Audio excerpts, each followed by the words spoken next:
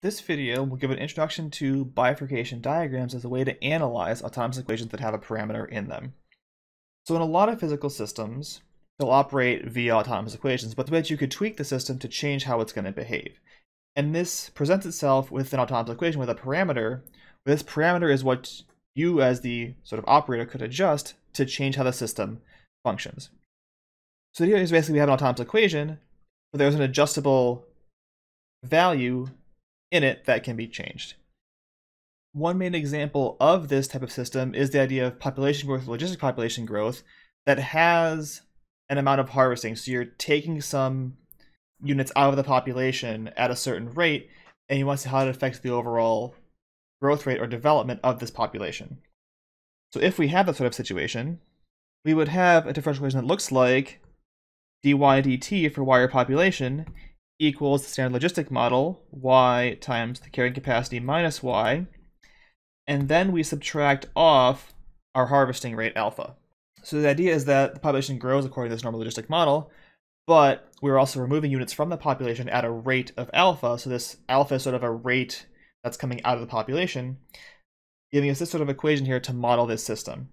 This alpha is the parameter that we can adjust, and this would be what's referred to as the variable harvesting rate in the physical sense, you can imagine that the value of alpha is going to have some effect on the overall growth of this population. Right? If we don't harvest at all, we get some sort of certain growth rate. But if we harvest out way too fast, it's going to kill off the entire population. So this value of alpha changes the overall behavior of this equation. We want to analyze how changing alpha affects the equation, as well as its solutions. And that's what these bifurcation diagrams are trying to answer. So just to the term that we're looking at here, an autonomous equation with a parameter is a differential equation of the following form.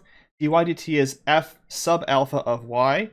You could write this as just f of alpha and y, but notationally we put the alpha in the subscript to denote that's a, a different sort of variable than the y is. The y is the thing that's actually changing here for the population, or whatever y models. The alpha is our adjustable parameter for this equation. So f sub alpha is a function of one variable, meaning f of alpha y is a function of two variables.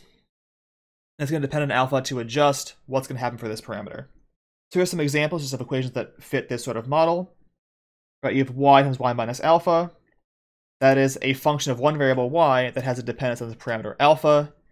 y squared y squared minus alpha, same idea.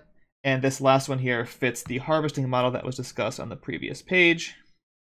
Same idea, we just picked now k to be 20.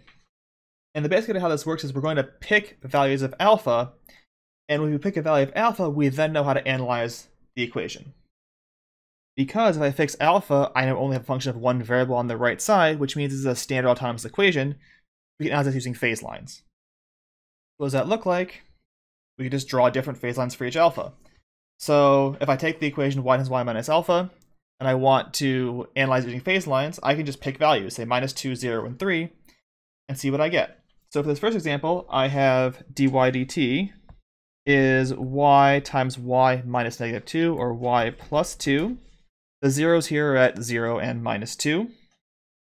So that's where my equilibrium solutions are. And I can draw a phase line.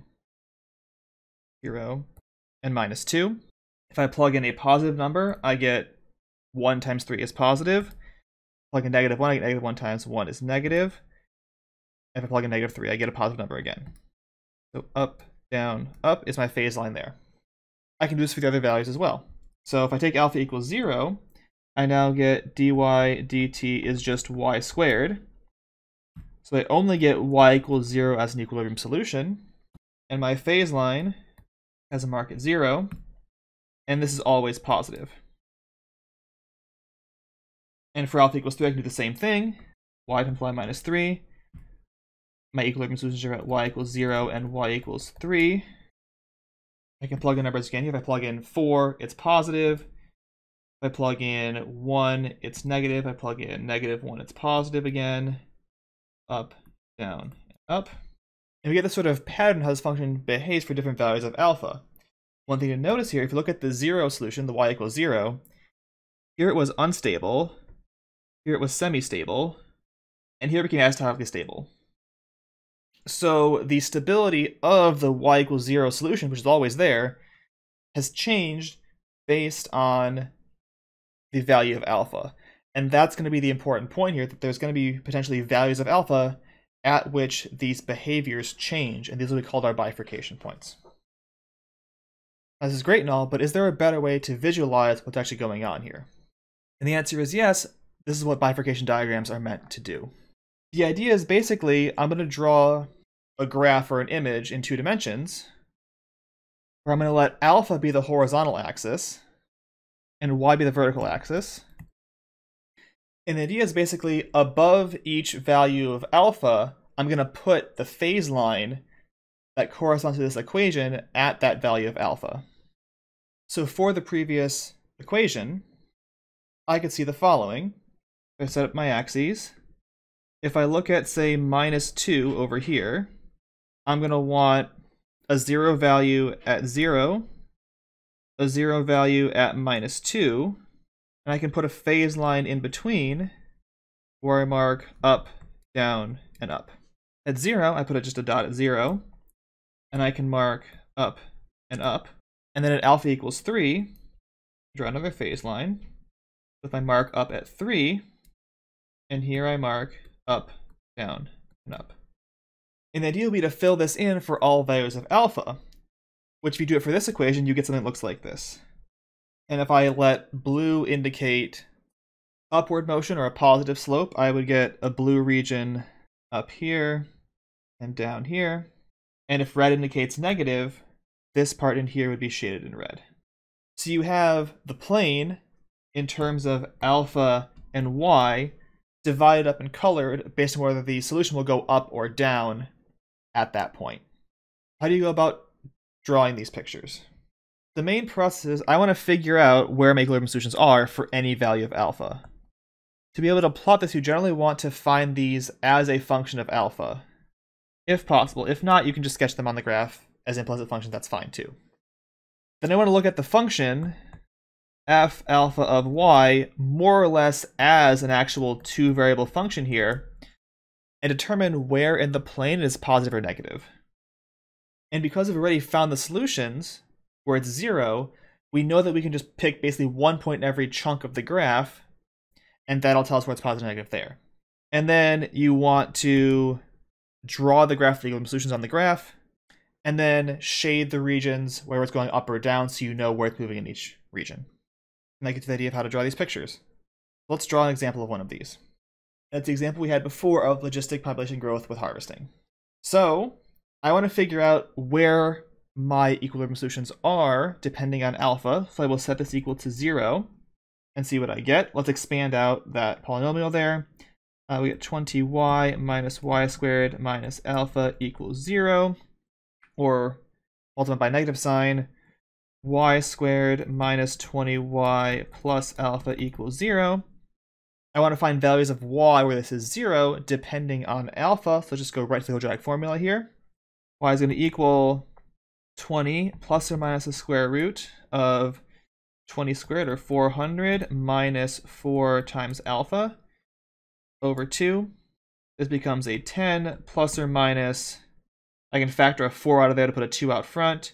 The square root of 100 minus alpha. So I get two solutions here for appropriate values. Right? If alpha is less than 100, I will get two solutions.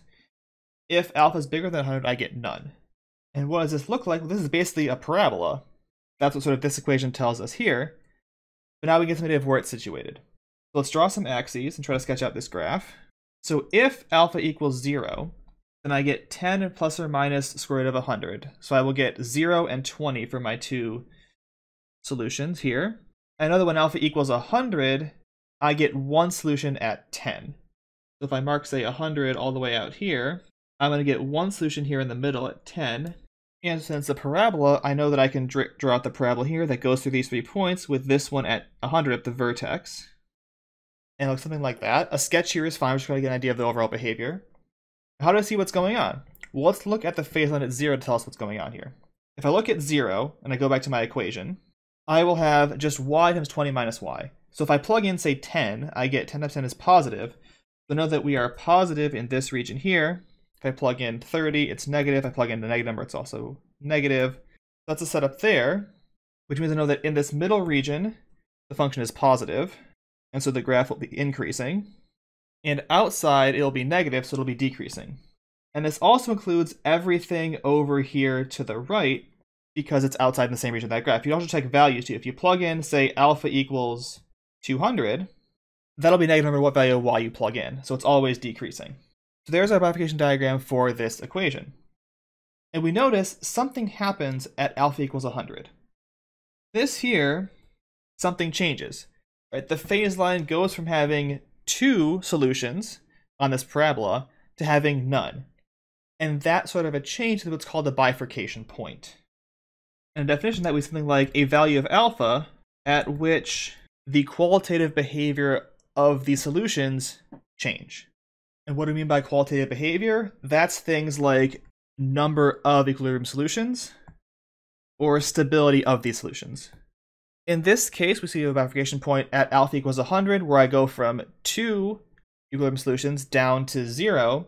And the important thing for physical modeling here, right, if I'm harvesting too fast, the entire population dies off. And we see that from this setup here. If alpha is too big, I'm harvesting too quickly, it all goes away, just goes to zero. For the setup before, we saw that zero was a bifurcation point, and that's because the solution at y equals zero changes in stability at that point. It goes from being unstable for alpha less than zero to stable for alpha bigger than zero. So that's a bifurcation point, as is the one with logistic growth, where we lose both solutions to get to nothing. There are several examples of bifurcations out there, um, but these are two of the main ones that you could see coming up from these sorts of equations where you have an autonomous differential equation with a parameter, and you want to see how changing that parameter affects the overall development of the solutions to this equation.